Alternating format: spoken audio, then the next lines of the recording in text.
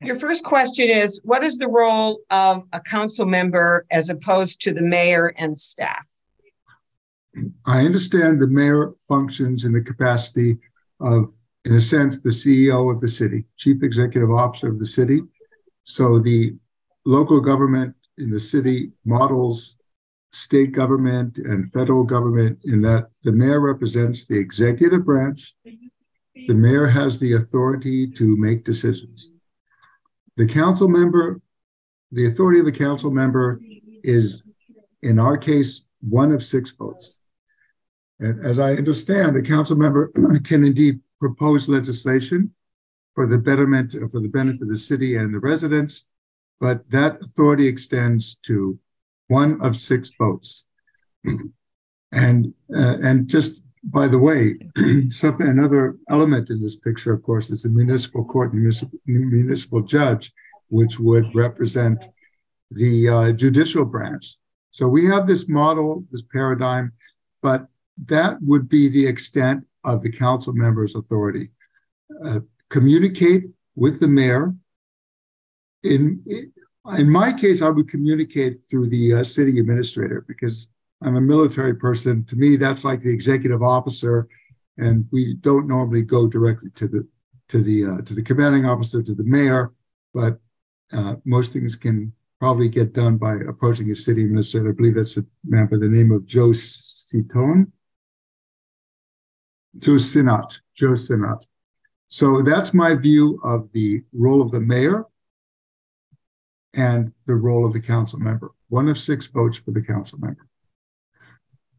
Okay, thank you. Um, second question, um, what do you see as Cleveland Heights' most pressing issue and how will you bring your experience and unique perspective to address that issue through your role on council? I think the most pressing issue, in my view, at the moment, is the Taylor Tudor Plaza renovation issue, because that's a beautiful building, and I've seen it since I've since I've been here over six years in the city, and it's it, it's historical, it's it's gorgeous, and it has such potential for being renovated and and serving as, uh, in a sense, a magnet of interest and activity for the city of Cleveland Heights. As a council member, I would be involved with any measures or any legislative proposals that would that would further the the progress of this renovation project. And the way I would do that is by basically being ear open to the needs and the desires and the wishes of the residents and transparent communication with all council members. Okay, thank you. Um, next up, please discuss two or three other issues that you are interested in working on, and how do you think council can be most effective in progressing on them? Another issue of importance, I would say, is the Taylor Road Synagogue, which is right down the street from uh, from the plaza, from the Tudor Plaza. And I understand that there's a large amount of debt owed to the city from the from the Taylor Road Synagogue, but it too has historical value, and uh, perhaps could find a way out of its difficulties to serve as uh, the hub that it used to be for providing services to indeed a specific community, but it would serve an important function. Another important issue is what I learned about at the last council meeting, because a, a number of people were concerned about the plowing, the plowing difficulty. Now, of course, that's a seasonal, that's a seasonal problem, but it is a problem. And its solution, well, it needs to be, it needs to be solved. And it's a solution that would indeed serve all the residents because everyone's got to get the kids to school safely and everyone's got to get to the place of work on time and in a safe way. So that would be something that I would I would explore, develop solutions for, and present this to the to the city council, to the council members, working as needed in conjunction with, as I say, probably city administrator. I don't know what uh, Mr. Seren's uh, policy, if he has an open door policy, I'd have to learn that.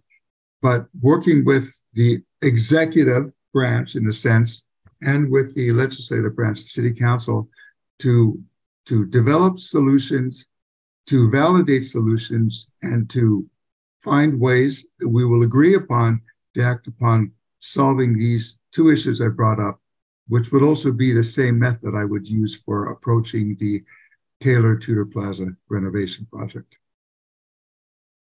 Over. Okay, thank you. Um, based on your responses to question two and three, so what's the most pressing issue, and then what are two or three other issues that you would want to work on?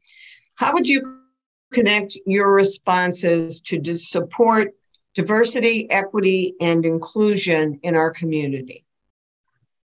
I think a fine example of that would be in connection to the the Taylor Tudor Plaza renovation project because as as a magnet of interest and activity for the city, should it be should it be renovated and put into activity, would be to populate the plaza with diverse diversity that represents the diversity of the Cleveland of Cleveland Heights. One of the most exciting things to me and the most prominent features and positive features of Cleveland Heights is the diversity. I, I, for me and for my family, this is very important to me. And, and, it's important to a lot of people who live there. It would be such a fine, it would be a fine objective to make this happen, to have the diversity populate that building, whether it be retail or whatever other activities would be involved with that building. And in that way, it would serve the uh, it would serve inclusivity, and it would represent the diversity in a proper manner of Cleveland Heights, and only further that really beautiful feature of Cleveland Heights, which is its diversity. We had an uh, and for example, my family learned of this, of the beauty of this diversity when my children partook in the urban swim program in the summer. There were five different ethnic groups represented in that program.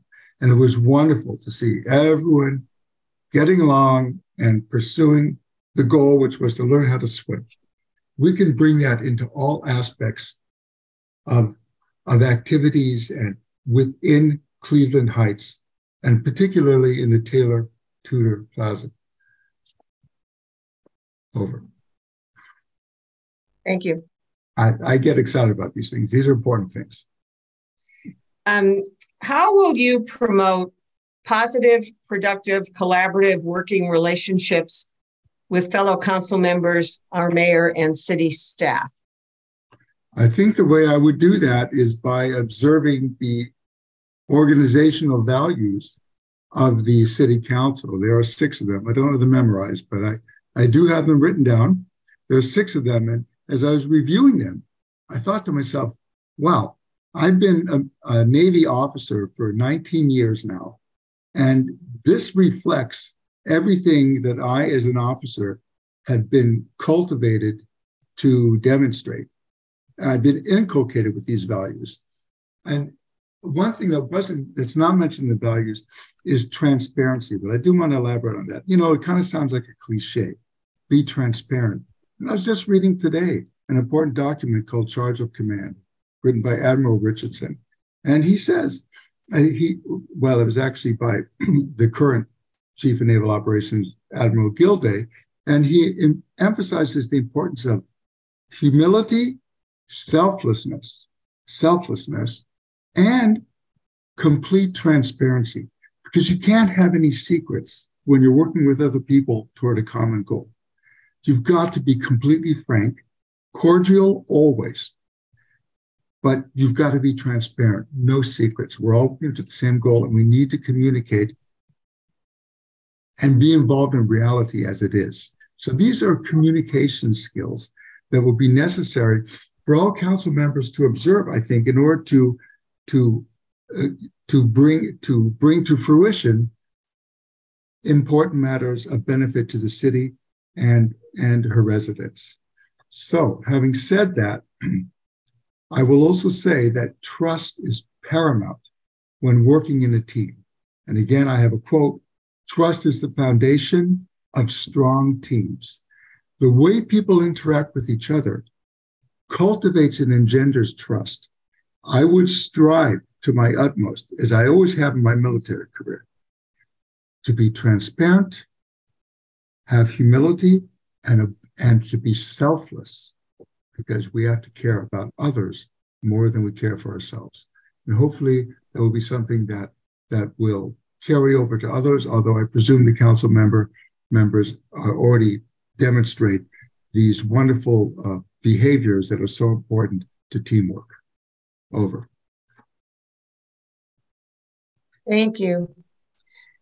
Um, how will you um, include, involve, and respond to residents' inputs and concerns? Wonderful question.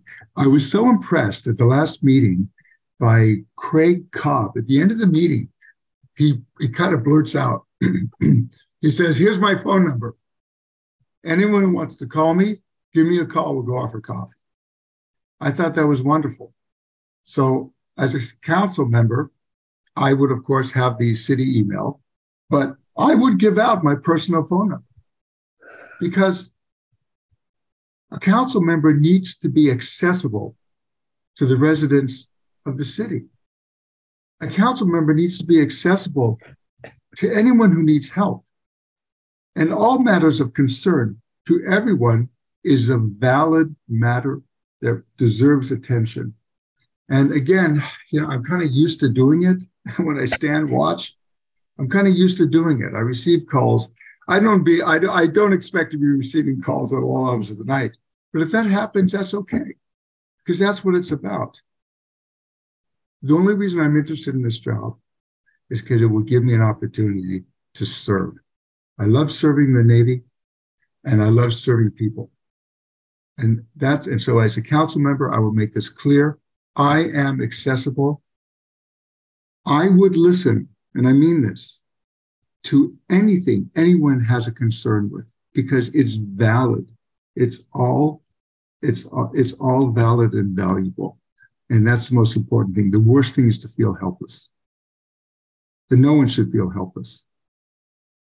I want to be able to be there to provide what I can in terms of solution and support for people's concerns. Thank you.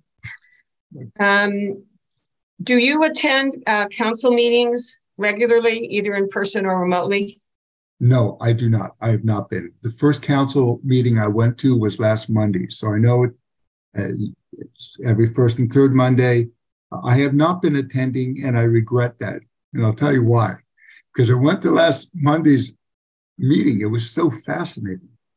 And it was to hear just people who live on the street come and express their their concerns and their desires and their aspirations and their interests. And I spoke to some of them afterwards, and they're delightful people.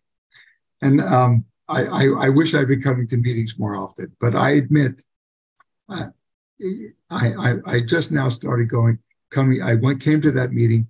I would love to go to more because it's, it's a delightful experience to see local government interacting with residents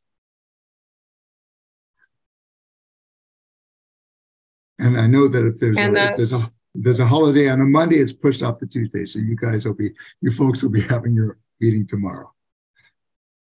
Right. Um, final question is, um, if you are appointed, do you intend to run for election to council in November of 2023? If I were appointed, yes. Yes, I would intend to run. Okay. Well, thank you very much for your time. We do appreciate it. We appreciate your interest in being appointed, and we'll hope you have a great evening. All right. Thank you very much and have a good evening. Thank you. Bye bye. Goodbye. Thank you.